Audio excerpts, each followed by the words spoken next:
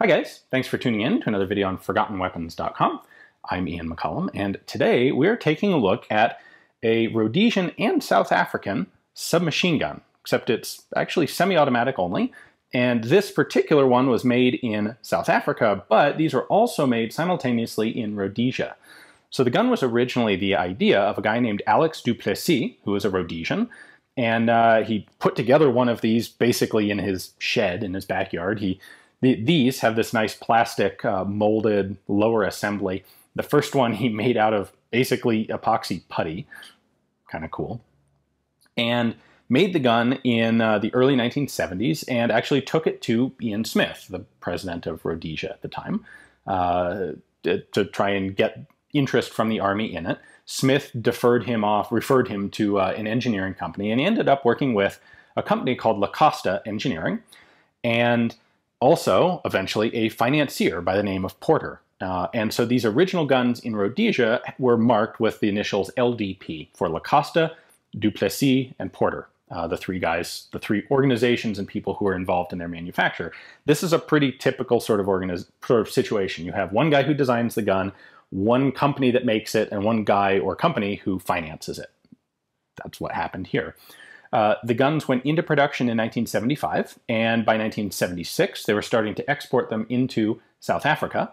However, in order to legally sell this in South Africa, it had to have a few changes. And before we go into those changes, I think it's important to point out that this is a semi-auto only gun. A lot of people look at a gun like this and expect, oh, it's a submachine gun, because it absolutely looks like a submachine gun. However, the gun laws in both Rhodesia and South Africa at the time uh, were not very permissive of ownership of machine guns at all. So guns like this were often open bolt. Uh, this one is an open bolt firing gun, but they were semi-automatic only.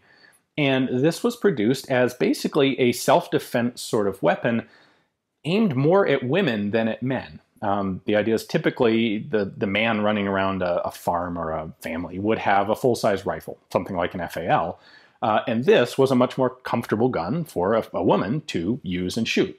And having a stock, more or less a stock, and a longer barrel and longer sights and, and handling like a submachine gun made them more easily shootable, more accurately shootable than pistols. And this whole thing carries around in this little bag. So despite, you know, it is larger than a pistol, but it's still not very big. Uh, and the idea was you actually had this sling on the bag, and if you wanted, you could take it off the bag and clip it onto the gun and carry it that way. I guess before we take it apart, there are a couple things to look at on the outside. Um, we have the stock in the folded configuration here, and when it's folded, it's just kind of uh, held in place by a couple of screws. Here, these this this pair of screws actually hold some internal parts in place as well. So to deploy the stock, pop it over those screws, and then we can fold it out around the magazine. And then there's a latch back here.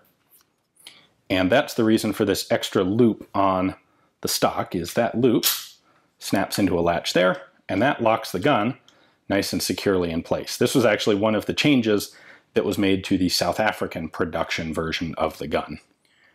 The model name is molded into that uh, plastic front handguard there, Kommando. You can tell some of the other versions, uh, this is where LDP would be marked on the Rhodesian versions. Uh, the later Rhodesian version, after uh, it was no longer lo no longer being made by LDP, they had a metal plate here um, that said, I believe, Commando Arms Company or Arms Manufacturer, like that. There is a serial number, uh, both on the bolt and on the barrel, and this one actually starts with 78, uh, which on a lot of the South African guns like this is the date. So this is a 1978 production gun we have the serial number 1282, and then this is a South African proof mark. That serial number is repeated up on the top of the receiver tube right there. There is a safety here on the side of the gun. Just rotate this pin back and forth. Forward is fire and back is safe.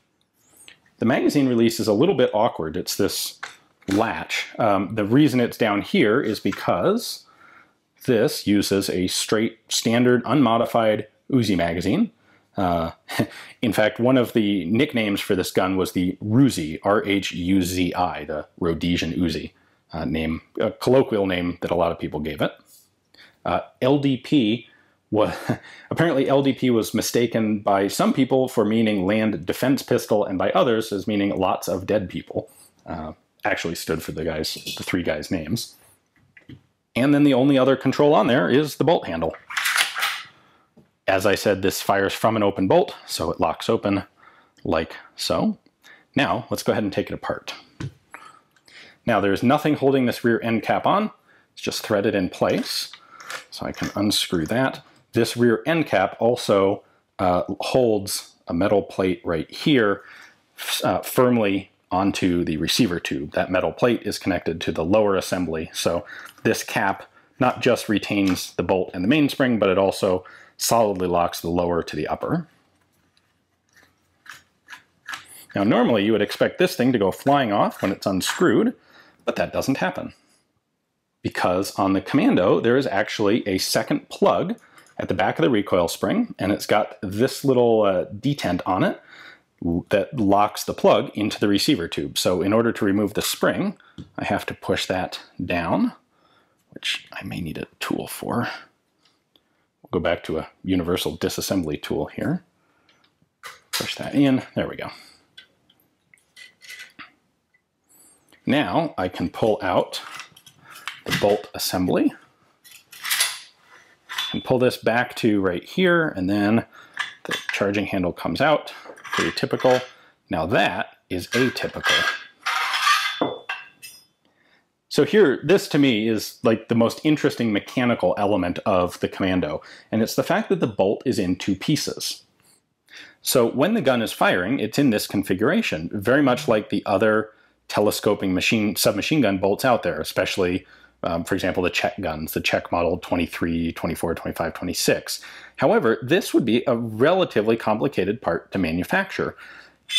If you separate it into two pieces like this, you're left with two parts that are both very easy to manufacture. You know, the vast majority of this can be done on a lathe. You know, turn the inside, turn the outside, and then you've just got a hole to drill, mill that out, cut that sear notch. Same thing on this. Uh, you know, all the major elements of this can be turned on a lathe. You put it together, and it works exactly like a telescoping bolt, especially, you know, you've got your charging handle that holds these two pieces together here, but much easier to manufacture. So that's really cool. Because this fires from an open bolt, it's able to use a fixed firing pin, and then the ejector on the Kommando is a separate rod. So there's a hole in the front of the bolt face right here, and the mainspring has what appears to be a guide rod in it. This is actually the ejector pin. So this rod runs inside the bolt itself, and when the bolt cycles backward, that rod pokes out through the breech face, and that's what kicks the empty cases out. Now we can take the front end apart by unscrewing this retaining nut. There we go, so that comes off, and then the barrel gets tapped back into the breech. It doesn't want to. We'll give it a little encouragement here with a hammer. There we go. We can drop, drop the barrel out the back. Very simple barrel. Note that there's no feed ramp on the barrel.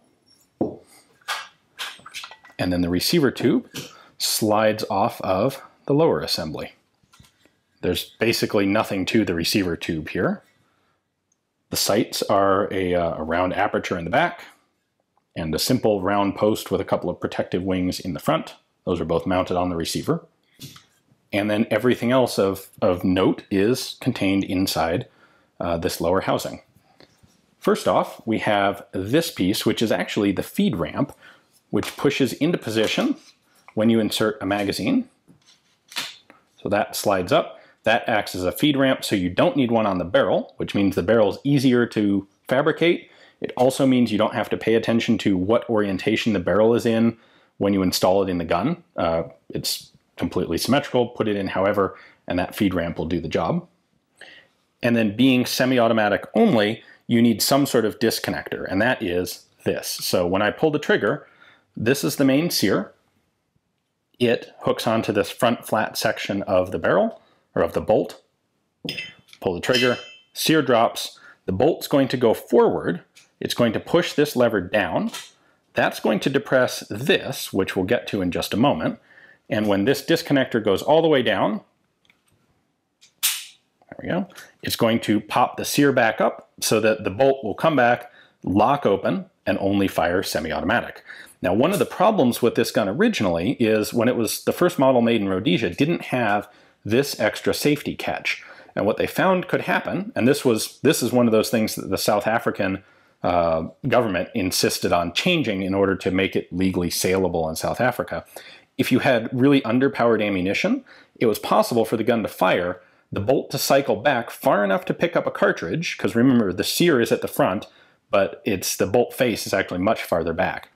It could cycle far enough to pick up a cartridge, not far enough to catch on the sear, and then come back forward and fire. And it could uh, double and triple and, and, and fire in bursts unintentionally if you had weak ammo. So this hook catches the bolt. As soon as it's gone far enough back to pick up a cartridge, the front of the bolt is behind this tab. And if the bolt isn't in the correct position, this will catch it and stop it. When you fire normally, this drops that guy down once these started being sold in South Africa, they actually fairly quickly came up with, or they, they got a request for, uh, licensed production in South Africa from a company called Maxim Parabellum. And LDP worked out a deal. Uh, LDP continued to make guns in Rhodesia, and Maxim Parabellum started up production in South Africa. And there are a number, there are like four or five different iterations of the Rhodesian version of the gun. There's pretty much just one version of the South African one, which is this. Uh, the most notable differences between the two are the Rhodesian guns actually had a grip safety in them, which the South African does not, uh, and the Rhodesian guns had a different style of stock. Basically, by the last iteration, um, they had just a kind of a sheet metal snap retainer that held the stock uh, in the open position, where the, Rhode or the South African version here has this stock latch that you already saw. So in total, LDP made about a thousand of the guns. Um, LDP was actually eventually bought out by a different Rhodesian company called Armscor, not the same as the Armscor that's currently in South Africa. Uh, in total, we're looking at about 10,000 of these guns were produced, and they are really one of the most common of the Rhodesian South African domestic production. Um, you can call it a, a carbine or a, a semi-auto submachine gun. So as far as these go, they're as far as this sort of gun goes, these are relatively common. In fact, you do even see them in the United States, sort of. Um, in 1980, uh, the company made a deal with an American guy who thought he had a market for these in the U.S. He imported, I think, parts for 500. He was planning to make them, wasn't able to make them um, for I'm, I'm not sure the exact reasons, but ultimately, I assume it would be it cost too much. There were some a bunch of other options out there on the market uh, and the, the plan fell through. So there aren't really any American-made commandos, but you will occasionally find a, a, set of parts for a commando in the US. That's pretty cool. Oh. Anyway, hopefully you guys enjoyed the video. Hopefully you got a new appreciation for uh, an, an a, a, more interesting than it ought to be, I think, uh, South African slash Rhodesian semi-auto submachine gun. Thanks for watching.